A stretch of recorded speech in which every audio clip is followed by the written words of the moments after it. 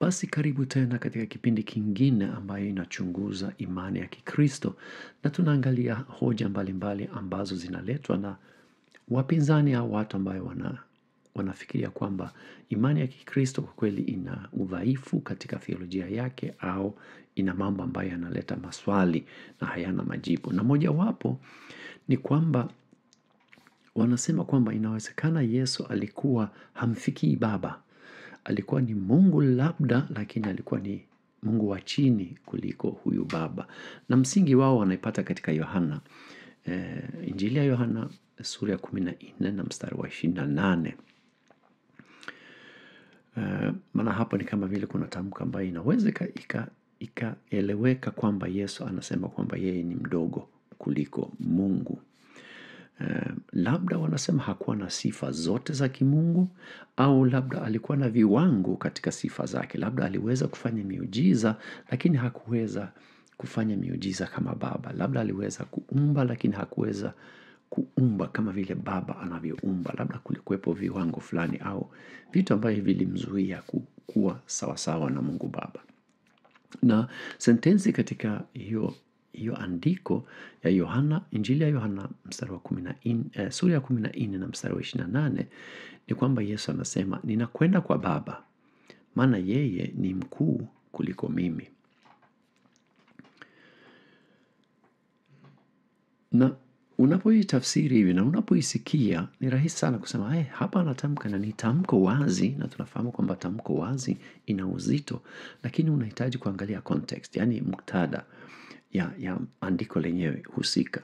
Lazima uangalie kuna nini lilichotangulia na mawazo au maongezi yanaendelea na yanaenda wapi. Kwa hiyo hiyo tutajaribu kuiangalia leo na halafu tutaweza kuona kama kweli eh, katika sentensi hii kweli anadai kwamba yeye ni mdogo kuliko Mungu Baba. Anaposema Baba ni mkuu kuliko mimi, maana yake ni kwamba hadhi ya Mungu aliye juu mbinguni ni, ni kubwa zaidi kuliko hadhi aliyokuwa nayo Yesu alipokuwa duniani. Tukisoma Yohana 17 na mstari wa tano, Yesu anasema utukufu niliyokuwa nayo. Unaona, ni kwamba Yesu aliposhuka hapa duniani, ndiyo inaonekana alikuwa na viwango, alikuwa na aina fulani, labda tuite upungufu katika eh, ule utukufu wake uliopo mbinguni. Sasa yeye anasema anarudi mbinguni kwa Baba, na anaposema kwamba Baba ni mkuu kuliko yeye, ina maana kwamba anapokuwa mbinguni utukufu wake na hakuna viwango, hakuna kizuizi, hakuna kitu. Yeye ni, ni Mungu mkamilifu yeye anaposema Baba ndivyo alivyo. Sasa anasema ungefurahi kama ungefahamu kwamba mimi ninarudi huko. Unaona, kwa sababu nitarudi katika, tukisoma katika kumi na saba na tano, utukufu niliokuwa nao. Na hapo uh, tuseme kama angesema kwamba mimi ni mdogo kuliko Mungu, hapa ni kama vile ana, anaingia kujipinga mwenyewe katika hoja ya hapa, na hiyo haileti maana, haileti maana eh, kuona kwamba kuna upinzani. Kwa hiyo unapoona kwamba kuna eh, hasa ukiangalia katika kitabu kimoja na unaona hapa kuna hoja moja ambayo inaweza ikaeleweka kwa njia fulani, endelea kusoma, angalia kabla, angalia nyuma, hivi mtiririko wa mawazo unakwendaje?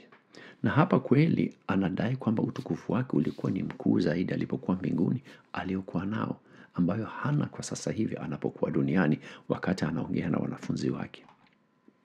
Yesu asingekuwa na sababu ya kujilinganisha na Mungu kama asingekuwa Mungu.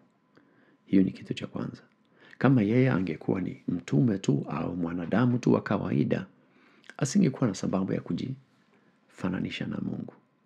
Asingekuwa na haja ya kujitamka kama Mungu, na hiyo anaifanya mara nyingi katika injili zetu. Na unapo unapomlinganisha e, mtu mmoja na mtu mwingine au kitu kimoja na kitu kingine, inabidi ufahamu unailinganisha kwa kitu gani, sindio? Unaweza ukasema kwamba mimi ninafanana na yule jamaa, kumbe wewe una miaka ishirini na huyu unayejilinganisha naye ana miaka arobaini. Kwa hiyo moja kwa moja unaweza kusema okay, hamfanani kwa umri, hiyo ina, ina, ni moja kwa moja, lakini inawezekana kwa, kwa labda elimu yenu ni sawasawa. Kwa hiyo elimu yenu inaweza ikafanana katika level moja, isifanane katika level nyingine. Sawa. Kwa hiyo hapa anaposema mimi ni mdogo kuliko baba, ni kwa sababu anapokuwa hapa duniani hana ule utukufu alionayo anapokuwa mbinguni. Kwa hiyo anakuwa mdogo. Sawa. Lakini kwa upande mwingine anafanana naye kwa sababu utukufu aliokuwa naye alipokuwa mbinguni ulikuwa ni wa kimungu. Unaona? Kuna, kuna tajiri moja anaitwa Elon Musk na yeye ni mkubwa sana. Ni nafikiri ni wa kwanza katika siku zetu wa utajiri duniani kama sikosei. Inawezekana ninakosea lakini nadhani ni hivyo. Na mimi ningeweza kusema kwamba mimi ninalingana naye na utashangaa. Mimi ni mwanaume, yeye ni mwanaume. Kwa hiyo tunalingana, wote ni wanaume. Lakini baada ya hapo nadhani hatulingani tena. Kwa sababu yeye ana mambo yake mengi sana na ana umaarufu wake, ana utajiri wake ambao mimi sina. Na labda mimi ningesema kwamba labda kwa theolojia hawa ni ndani. Sifahamu. Lakini kwa upande mmoja tunaweza tukasema kwamba tunalingana kwa sababu wote ni wanadamu, wote ni wanaume. Lakini baadaye hatulingani. Kwa hiyo inawezekana sana kujilinganisha na mtu eh, bila ku, kufanana kikamilifu naye katika kila hali au hata kwa muda wenyewe.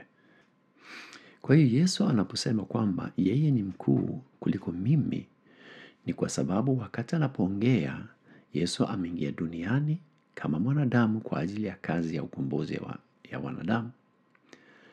Wakati huo utukufu wake na ukuu wake kamili kama Mungu haionekani. Na bila shaka alipokuwa hapa duniani alikuwa na aina fulani ya viwango.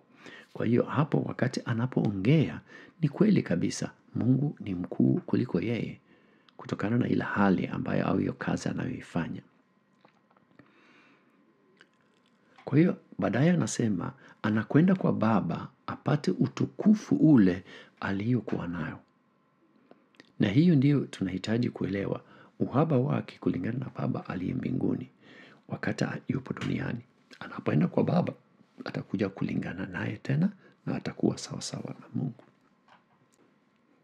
Tunapoendelea tutaangalia kesi nyingine ambayo ni ngumu kwa wanadamu wengi. Eh, ni kwamba kama Yesu kweli ni Mungu wa upendo, inakuwaje ama andaa jehanamu kwa wanayomkataa. Hiyo pia ni kitu ambayo watu wengi wanaleta upinzani juu ya Ukristo kwa sababu ya, ya hayo. Hiyo tutaiangalia kidogo katika kipindi kinachokuja. Kama mnifuata mpaka mwisho, nashukuru. Mungu akubariki. Bila shaka tutaonana tena. Asanteni.